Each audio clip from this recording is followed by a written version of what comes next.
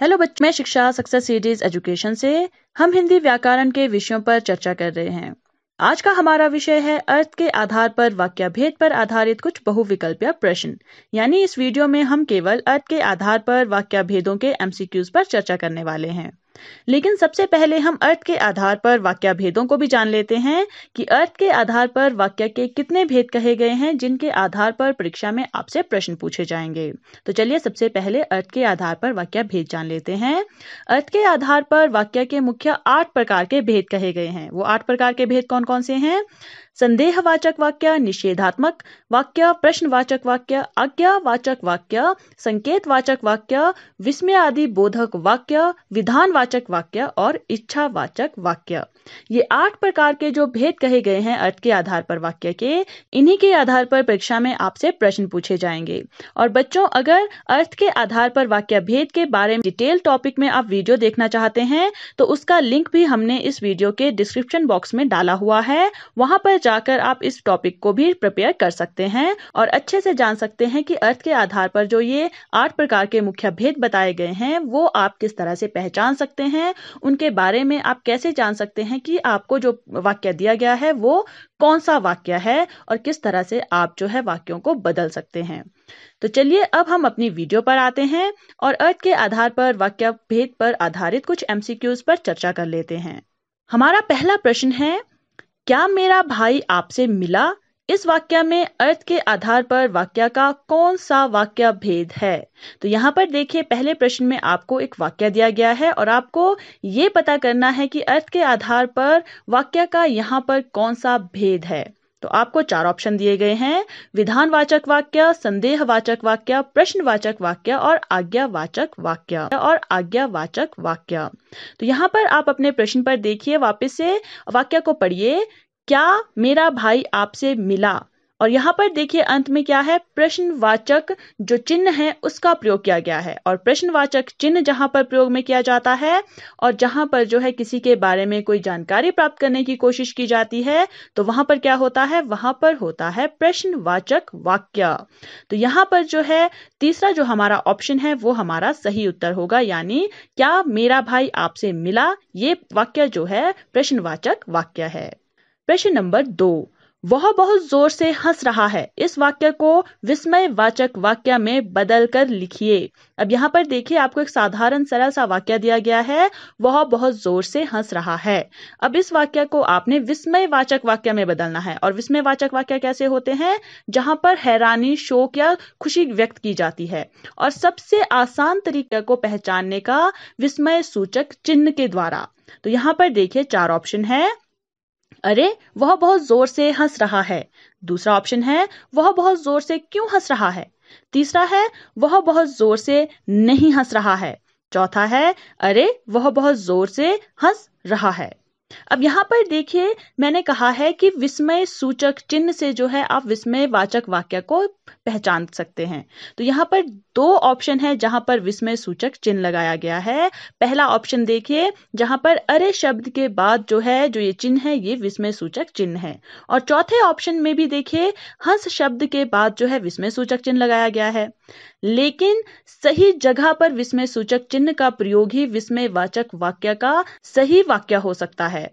अब यहाँ पर जो पहला ऑप्शन है, अरे वह बहुत ज़ोर से हंस रहा है। ये बिल्कुल सही है, क्योंकि यहाँ पर सही जगह पर जो है विस्मय सूचक चिन्ह का प्रयोग इनका प्रयोग हुआ है। लेकिन चौथे ऑप्शन में जो है गलत जगह पर विस्मय सूचक चिन्ह का प्रयोग हुआ है तो वो गलत होगा। और जो दूसरा ऑप्शन है, वह बहुत ज़ोर से क्यों हंस रहा है? ये क्या है? ये किसी के बारे में जो है जानकारी प्राप्त करने की कोशिश की जा रही है कि वो क्यों इतने ज़ोर से हंस रहा है। लेकिन ये पूरी तरह से भी प्रश्नवाचक वाक्य नहीं कहा जा सकता, क्योंकि यहाँ पर क्या है? यहाँ पर पर प्रश्नवाचक चिन्ह का प्रयोग नहीं किया गया है। इसलिए यहाँ पर जो है ये गलत होगा। तीसरा ऑप्शन देखिए, वह बहुत ज़ोर से नहीं हंस रहा है। ये क्या है? यहाँ पर नहीं शब्द का प्रयोग हुआ है और नहीं शब्द का प्रयोग कहाँ होता है? जहाँ पर किसी चीज़ का निषेध हो मनाही हो तो ये वाक्य क्या है? ये निषेधात्मक वाक्य है और हमें कहा गया है विस्मय वाचक वाक्य को ढूँढने के लिए। तो हमारा जो पहला ऑप्शन है अरे, वह बहुत ज़ोर से हंस रहा है। ये हमारा सही उत्तर है। और बच्चों, अगर आपने अभी तक हमारे चैनल को सब्सक्राइब नहीं किया है तो जाकर जल्दी से सब्सक्राइब कर लीजिए और साथ ही साथ बेल आइकन को भी हिट कर लीजिए, ताकि जब भी हमारी फुल वीडियो अपलोड होती है तो सबसे पहले आपको उसकी जानकारी प्राप्त हो जाए और आप अपने एग्ज़ाम्स की तैयारी साथ साथ करते रहें। तो हम आते हैं अपने अगले प्रश्न पर। हमारा अगला प्रश्न है, राधा गृहिणी है। इस वाक्य में उद्देश्य और विधेयक छांट कर लिखिए। अब यहाँ पर देखिए, आपको एक साधारण सा वाक्य दिया है, राधा गृहिणी है। इस वाक्य में आपको उद्देश्य और विधेय को छांट कर लिखना है। आपको पता होना चाहिए कि वाक्य के दो भाग होते हैं, उद्देश्य और विधेय। इन दोनों के द्वारा ही जो है वाक्य का निर्माण होता है। तो ये भी आप हमारी पिछली वीडियो में जाकर पूरा डिटेल में देख सकते हैं और जान सकते हैं कि उद्देश्य और विधेय को आप कैसे पहचान सकते हैं। तो हम आते हैं प्रश्न पर, राधा गृहिणी है, इसमें उद्देश्य कौन सा है और विधेयक कौन सा है? यहाँ पर चार ऑप्शन है, उद्देश्य गृहिणी है विधेय राधा। दूसरा ऑप्शन है, उद्देश्य राधा, विधेय गृहिणी है। तीसरा है, उद्देश्य है, विधेय राधा। चौथा है, उद्देश्य गृहिणी, विधेय है। साधारण तरीके से आप उद्देश्य और विधेय को ऐसे को ऐसे याद रख सकते हैं कि वाक्य में जिसके बारे में बात की जा रही होगी, वो उद्देश्य होगा और बाकी जो पोर्शन बचा वाक्य में, वो सारा विधेय होगा। तो यहाँ पर देखिए, बात किसके बारे में हो रही है? राधा के बारे में बताया जा रहा है कि राधा गृहिणी है। तो उद्देश्य क्या हुआ? राधा। और बाकी जो पोर्शन है, गृहिणी है, वो क्या हुआ? विधेय। तो हमारा जो दूसरा ऑप्शन है, वो हमारा सही उत्तर है। उद्देश्य राधा और विधेय गृहिणी है। इसी तरह से आपको अगर परीक्षा में पूछा जाए उद्देश्य और विधेय छांटने के लिए। तो आपने सिर्फ़ इतना ध्यान रखना है कि वाक्य में जिसके बारे में बात हो रही है, वो उद्देश्य होगा और बाकी सब कुछ जो बचा हुआ वाक्य होगा, वो होगा विधेय। प्रश्न नंबर चार अभय डॉक्टर है। इस वाक्य को निषेधवाचक वाक्य में कैसे लिखा जाएगा? अब यहाँ पर देखिए, बहुत ही सिंपल वाक्य आपको दिया है, अभय डॉक्टर है। इसको आपने निषेधवाचक वाक्य में बदल कर लिखना है। और निषेधवाचक वाक्य में कैसे पहचान होती है? वहाँ पर नहीं, ना या मनाही वाले शब्दों का प्रयोग होता है। तो यहाँ पर चार ऑप्शन है। क्या अभय डॉक्टर है? अभय डॉक्टर है। ऑप्शन दो, अरे, अभय डॉक्टर है। तीसरा, अभय डॉक्टर नहीं है। चौथा, अभय डॉक्टर क्यों है? तो यहाँ पर देखिए, पहला जो ऑप्शन है, क्या अभय डॉक्टर है? ये पूर्ण तरह से प्रश्नवाचक वाक्य भी नहीं है। दूसरा है, अरे, अभय डॉक्टर है। अरे के बाद क्या है? विस्मय सूचक चिन्ह का प्रयोग हुआ है तो ये क्या है? विस्मय वाचक वाक्य है। और हमें कहा है, निषेधवाचक वाक्य में बदलना है हमें इसे। और तीसरा ऑप्शन है, अभय डॉक्टर नहीं है। यहाँ पर क्या है? नहीं शब्द का प्रयोग हुआ है। निषेधात्मक वाक्य जो होते हैं, वहाँ पर मनाही वाले शब्दों का प्रयोग होता है। और नहीं जो है, मनाही वाला शब्द है। तो ये हमारा सही उत्तर होगा। चौथा है, अभय डॉक्टर क्यों है? और यहाँ पर भी क्यों ज़रूर प्रयोग हुआ है, लेकिन प्रश्नवाचक चिन्ह नहीं है तो ये भी जो है प्रश्नवाचक वाक्य भी नहीं होगा। ये दोनों जो है गलत है, पहला और चौथा। और यहाँ पर हमारा सही ऑप्शन है, option number three. Abhay doctor नहीं है। प्रश्न नंबर पाँच। मेरा पत्र पिताजी को मिला। इस वाक्य को प्रश्नवाचक वाक्य में बदल दलिए यहाँ पर देखिए, आपको एक वाक्य दिया है, आपने उसे प्रश्नवाचक वाक्य में बदल कर लिखना है। चार ऑप्शन है। क्या मेरा पत्र पिताजी को मिला? दूसरा है, शायद मेरा पत्र पिताजी को मिला। तीसरा है, अरे, मेरा पत्र पिताजी को मिला। चौथा है, मेरा पत्र पिताजी को नहीं मिला। तो यहाँ पर देखिए, जो पहला ऑप्शन है हमारा, क्या मेरा पत्र पिताजी को मिला? यहाँ पर देखिए, किसी के बारे में जो है जानकारी भी प्राप्त करने की कोशिश की जा रही है कि क्या मेरा पत्र पिताजी को मिला होगा, यानी यहाँ पर जानकारी प्राप्त करने की कोशिश की जा रही है और साथ ही साथ यहाँ पर प्रश्नवाचक चिन्ह का प्रयोग भी किया गया है। यानी ये पूर्ण रूप से प्रश्नवाचक वाक्य है और यही हमारा सही उत्तर है। बाकी ऑप्शंस को भी देख लेते हैं कि वो कौन कौन से वाक्यों में बदले गए हैं। दूसरा ऑप्शन है, शायद मेरा पत्र पिताजी को मिला। यहाँ शायद शब्द का प्रयोग हो रहा है और यहाँ पर जो है संदेह उत्पन्न किया जा रहा है कि शायद मेरा पत्र पिताजी को मिला होगा, ठीक है? और जो तीसरा ऑप्शन है वो है, अरे मेरा पत्र तीसरा ऑप्शन है वो है, अरे मेरा पत्र पिताजी को मिला। यहाँ पर अरे के बाद क्या है? विस्मय सूचक जो चिन्ह है उसका प्रयोग हुआ है तो ये क्या है? विस्मय वाचक वाक्य में बदला गया है। और चौथा है, मेरा पत्र पिताजी को नहीं मिला। यहाँ पर नहीं शब्द का प्रयोग हुआ है, यानी मनाही के रूप में जो है यहाँ पर प्रयोग किया गया है वाक्य का। तो यहाँ पर क्या है, ये निषेधात्मक वाक्य होगा। तो हमारा क्या है? पहला जो ऑप्शन है, वो हमारा सही उत्तर है, क्योंकि वो जो है प्रश्नवाचक वाक्य में बदला गया है हमारे प्रश्न के वाक्य को। प्रश्न नंबर छह, मुझे आज बाहर घूमने का मन हो रहा है। यह वाक्य किस प्रकार का वाक्य है? आपको यहाँ एक वाक्य दिया गया है, आपने ये ढूंढना है कि ये कौन सा वाक्य है। प्रश्न फिर से पढ़िए, मुझे आज बाहर घूमने का मन हो रहा है। अब यहाँ पर आपको चार ऑप्शन दिए हैं। आज्ञावाचक वाक्य संकेत वाचक वाक्य, इच्छावाचक वाक्य, विस्म्यादि बोधक वाक्य। तो यहाँ पर देखिए, आज्ञा तो नहीं दी जा रही है किसी को तो ये पहला ऑप्शन हमारा बिल्कुल गलत होगा। किसी चीज़ का संकेत भी नहीं दिया जा रहा है तो ये भी हमारा गलत होगा। नहीं है क्योंकि यहाँ पर किसी भी प्रकार का कोई आश्चर्य नहीं है, खुशी नहीं है, गम नहीं है, और ना ही साथ साथ विस्मय सूचक चिन्ह का प्रयोग भी नहीं है। तो यहाँ पर क्या है? जो हमारा तीसरा ऑप्शन है, इच्छावाचक वाक्य, वो हमारा सही उत्तर होगा, क्योंकि यहाँ पर क्या है, इच्छा व्यक्त की जा रही है अपने मन की कि मुझे आज बाहर घूमने का मन हो रहा है। ये इच्छा व्यक्त हो रही है, और इच्छा जहाँ पर व्यक्त होती है, वहाँ पर क्या है, इच्छावाचक वाक्य होता है। प्रश्न नंबर सात, जिन वाक्यों में संदेह, संभावना का बोध होता है, वहाँ अर्थ की दृष्टि से कौन सा वाक्य भेद होता है? तो यहाँ पर देखिए, चार ऑप्शन है, संदेहवाचक वाक्य संकेत वाचक वाक्य, इच्छावाचक वाक्य या विस्म्यादि बोधक वाक्य। तो पहचानना बहुत ही सरल है कि जहाँ पर संदेह होगा, वहाँ पर कौन सा वाक्य होगा? संदेहवाचक वाक्य होगा। तो जो हमारा पहला ऑप्शन है, वो हमारा सही उत्तर होगा, यानी संदेहवाचक वाक्य। प्रश्न नंबर आठ। रमा पत्र लिख रही है। इस वाक्य में अर्थ के आधार पर वाक्य का, क्या का, कौन सा वाक्य भेद है? यहाँ पर भी आपको एक वाक्य दिया गया है और पूछा गया है कि यहाँ पर कौन सा वाक्य भेद है। यहाँ पर चार ऑप्शन है। विधानवाचक वाक्य, संदेहवाचक वाक्य, प्रश्नवाचक वाक्य या आज्ञावाचक वाक्य।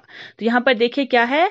रमा पत्र लिख रही है। बहुत ही सिंपल वाक्य है, बहुत ही सरल वाक्य है और जहाँ पर एक कर्ता हो, एक क्रिया हो, एक कर्म हो, वहाँ पर क्या है? वहाँ पर विधानवाचक वाक्य होता है और यहाँ पर कर्ता भी एक ही है, कर्म भी एक ही है और एक ही क्रिया हो रही है। तो क्या होगा? यहाँ पर भी हमारा पहला जो ऑप्शन है वो सही उत्तर होगा, यानी विधानवाचक वाक्य।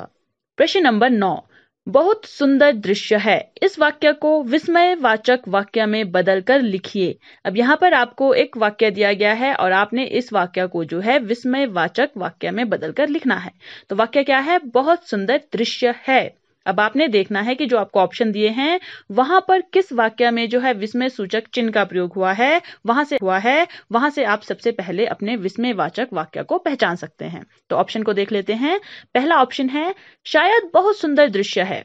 दूसरा, क्या सुंदर दृश्य है? तीसरा, वाह, कितना सुंदर दृश्य है। चौथा बहुत सुंदर दृश्य नहीं है।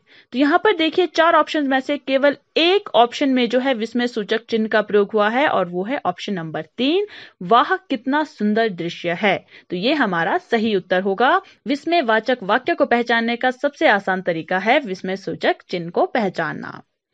प्रश्न नंबर दस, मजदूरों ने काम कर लिया। इस वाक्य में उद्देश्य और विदेह छांट कर लिखिए।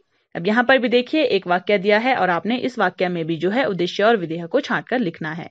पहला है, उद्देश्य, काम कर लिया, विधेय, मजदूरों ने।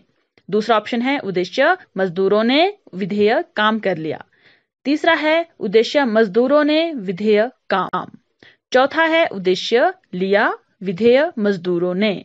हमने पहले भी कहा था कि उद्देश्य होता है वाक्य में जिसके बारे में बात हो रही हो, और विधेय जो है पूरे वाक्य में जो बच जाता है, उसको पूरा जो है विधेय में रखा जाता है।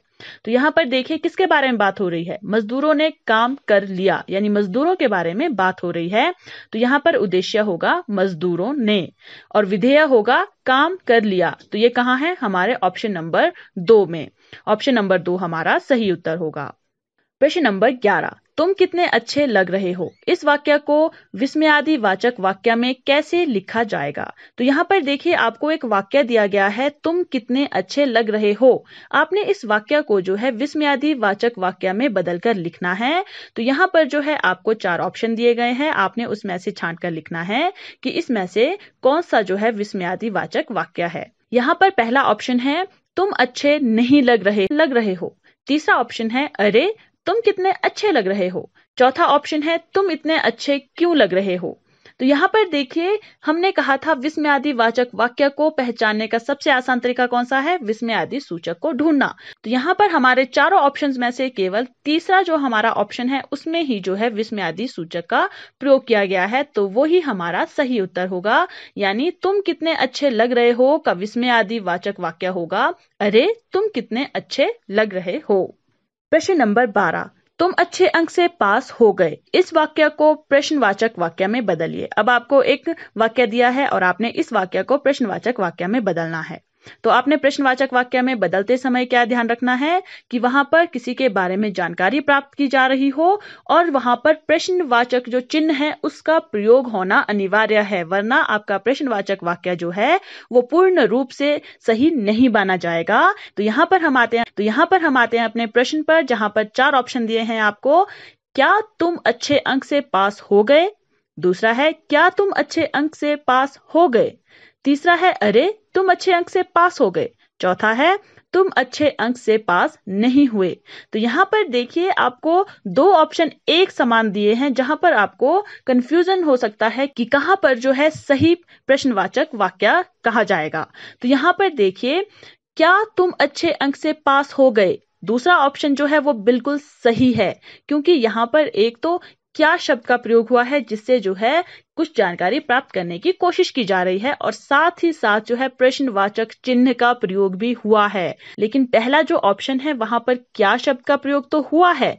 लेकिन उसमें लास्ट में देखिए, वहाँ पर प्रश्नवाचक चिन्ह का प्रयोग नहीं हुआ है। तो ध्यान रखिएगा, प्रश्नवाचक वाक्य को पहचानने के लिए केवल जानकारी प्राप्त करने वाले उन्हीं का प्रयोग करना सही नहीं है। साथ ही साथ प्रश्नवाचक जो चिन्ह है, उसका प्रयोग भी आपने करना है। इसी तरह की महत्व महत्वपूर्ण जानकारियाँ प्राप्त करने के लिए आप जल्दी से जाकर बेल आइकन को हिट कर लीजिए ताकि आप कोई भी यूजफुल जो हम वीडियोस बनाते हैं वो मिस ना कर दें और अपने एग्ज़ाम्स की तैयारी अच्छे से करते रहें। हम आते हैं अपने अगले प्रश्न पर। प्रश्न नंबर तेरह। अभी तुम बाहर जाओ। यह वाक्य किस प्रकार का वाक्य है? तो यहाँ पर देखिए चार ऑप्शन है। आज्ञावाचक वाक्य संकेत वाचक वाक्य, इच्छावाचक वाक्य या विस्मय आदि बोधक वाक्य। आप अपने प्रश्न के वाक्य को अच्छे से पढ़ लीजिए। अभी तुम बाहर जाओ। यहाँ पर क्या है? किसी को ऑर्डर दिया जा रहा है कि तुम अभी बाहर जाओ। तो जहाँ पर भी ऑर्डर दिया जाता है, किसी को आज्ञा दी जाती है तो वहाँ पर क्या होता है? आज्ञावाचक वाक्य। तो यहाँ पर क्या होगा? हमारा ऑप्शन नंबर वन आज्ञावाचक वाक्य, सही उत्तर होगा। प्रश्न नंबर चौदह। जिन वाक्यों में किसी काम के ना होने या ना करने का बोध हो, वहाँ अर्थ की दृष्टि से कौन सा वाक्य भेद होता है? अब आपको यहाँ पर एक स्टेटमेंट दी गई है कि जिन वाक्यों में किसी काम के ना होने या ना करने का बोध हो, कि कोई काम वहाँ पर नहीं हो रहा है, कोई क्रिया नहीं हो रही है तो वहाँ पर अर्थ की दृष्टि से कौन सा भेद होगा? तो यहाँ पर चार ऑप्शन है, संदेहवाचक वाक्य संकेत वाचक वाक्य, इच्छावाचक वाक्य और निषेधात्मक वाक्य। और स्टेटमेंट में क्या है? नहीं काम होने होने का बोध हो रहा है, यानी मनाही हो रही है, निषेध हो रहा है। तो जहाँ पर इस तरह का कोई चीज़ हो, इस तरह का कोई वाक्य दिया गया हो, वहाँ पर क्या होगा? निषेधात्मक वाक्य होगा। तो हमारा जो चौथा ऑप्शन है, वो हमारा सही उत्तर है। प्रश्न नंबर पंद्रह। मुझे वह पुस्तक उठाकर दो। इस वाक्य में अर्थ के आधार पर वाक्य का कौन सा वाक्य भेद है? चार ऑप्शन है, विधानवाचक वाक्य, संदेहवाचक वाक्य, प्रश्नवाचक वाक्य या आज्ञावाचक वाक्य। प्रश्न में दिए गए वाक्य को फिर से से पढ़िए। मुझे वह पुस्तक उठाकर दो। यहाँ पर क्या है? ऑर्डर कर रहे हैं कि मुझे वो पुस्तक उठाकर दो। तो जहाँ पर ऑर्डर हो, वहाँ पर क्या होगा? आज्ञावाचक वाक्य। यानी हमारा जो चौथा ऑप्शन है, वो हमारा सही उत्तर है। प्रश्न नंबर सोलह। क्या आप उसे जानते हैं? इस वाक्य को विधानवाचक वाक्य में बदलकर लिखिए। अब यहाँ पर देखिए वाक्य क्या है? क्या आप उसे जानते हैं? ये क्या है? प्रश्नवाचक वाक्य है और आपने इसको विधानवाचक वाक्य में बदलकर लिखना है। और विधानवाचक वाक्य कैसे होते हैं? बहुत ही सिंपल होते हैं, जिसमें एक कर्ता, एक कर्म और एक क्रिया होती है। तो यहाँ पर चार ऑप्शन है, आपने देखना है सबसे सिंपल सा कौन सा है। तो पहला ऑप्शन है, आप उसे जानते हैं। दूसरा है, आप उसे कैसे जानते हैं? तीसरा है, शायद आप उसे जानते हैं। चौथा है, आप उसे नहीं जानते हैं। तो यहाँ पर देखिए सबसे सिंपल सा वाक्य कौन सा है? पहला, कि आप उसे जानते हैं। ये क्या है? आपका सही उत्तर है। लेकिन दूसरा तो है, वो क्या है? दूसरा, आपका प्रश्नवाचक वाक्य है? क्योंकि यहाँ पर जानकारी प्राप्त करने की कोशिश की जा रही है और प्रश्नवाचक चिन्ह है। तीसरा ऑप्शन है, शायद आप उसे जानते हैं। यानी यहाँ पर क्या है? संदेह हो रहा है कि शायद आप उसे जानते हैं। चौथा है, आप उसे नहीं जानते हैं। यानी ये क्या है? निषेधात्मक वाक्य है और हमें कहा है विधानवाचक वाक्य। तो ये क्या है? हमारा जो पहला ऑप्शन है, आप उसे जानते हैं। ये हमारा सही उत्तर होगा क्योंकि ये सबसे सिंपल है। प्रश्न नंबर सत्रह। गंगाधर जी का हिंदी भाषा पर पूर्ण अधिकार है। इस वाक्य में उद्देश्य और विधेय छांट कर लिखिए। अब इस वाक्य में आपने उद्देश्य और विधेय छांट कर लिखने हैं। उद्देश्य कौन सा होता है? जिसके बारे में बात हो रही हो और विधेय बाकी बचा पूरा वाक्य। तो यहाँ पर किसके बारे में बात हो रही है? गंगाधर जी का हिंदी भाषा पर पूर्ण अधिकार है, यानी गंगाधर जी के बारे में बात हो रही है। तो जहाँ पर गंगाधर जी उद्देश्य कहे गए होंगे और बाकी जो वाक्य बचा है वो विधेय कहा गया होगा, वो हमारा सही उत्तर होगा। तो हमारे ऑप्शन देखिए। उद्देश्य है गंगाधर जी का, विधेय है हिंदी भाषा पर पूर्ण आशा पर पूर्ण अधिकार है। दूसरा ऑप्शन है उद्देश्य, हिंदी भाषा पर पूर्ण अधिकार है, विधेय गंगाधर जी का। ये क्या है? उल्टा है तो ये तो नहीं होगा। तीसरा है उद्देश्य, हिंदी भाषा पर विधेय गंगाधर जी का। चौथा है उद्देश्य, गंगाधर जी का और विधेय पूर्ण अधिकार है। तो तीसरा और चौथा वो अधूरे हैं और पहला जो हमारा ऑप्शन है, वो हमारा सही उत्तर है क्योंकि यहाँ पर उद्देश्य दिया गया है गंगाधर जी का और विधेय जो है वो बाकी बचा पूरा जो वाक्य बच गया है हमारे पास, हिंदी भाषा का पूर्ण अधिकार है, हिंदी भाषा पर पूर्ण अधिकार है तो ये हमारा सही उत्तर होगा। प्रश्न नंबर अठारह। अरे, सूर्य गर्मी दे रहा है। इस वाक्य को विधानवाचक वाक्य में कैसे लिखा जाएगा? अब यहाँ पर देखिए, अरे अरे के बाद क्या है? विस्मय सूचक चिन्ह है। यानी ये विस्मयवाचक वाक्य है। तो इसे जो है, हमने विधानवाचक वाक्य में बदलना है। यानी इसे बिल्कुल सिंपल करके लिखना है। तो चार ऑप्शन है।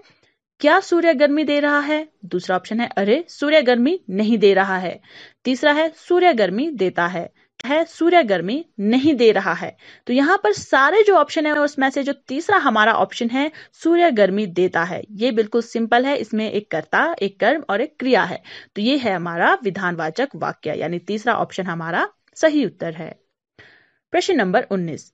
तुम्हें कुछ भी नहीं आता। इस वाक्य को प्रश्नवाचक वाक्य में बदलिए। अब यहाँ देखिए, यहाँ कौन सा वाक्य है? तुम्हें कुछ भी नहीं आता। ये नहीं शब्द का प्रयोग हुआ है, यानी ये निषेधात्मक वाक्य है। इसे जो है हमने प्रश्नवाचक वाक्य में बदलना है। तो चार ऑप्शन है। क्या तुम्हें कुछ भी नहीं आता? दूसरा है, शायद तुम्हें कुछ भी नहीं आता। तीसरा है, अरे, तुम्हें कुछ भी नहीं आता। चौथा है, आह, तुम्हें कुछ भी नहीं आता।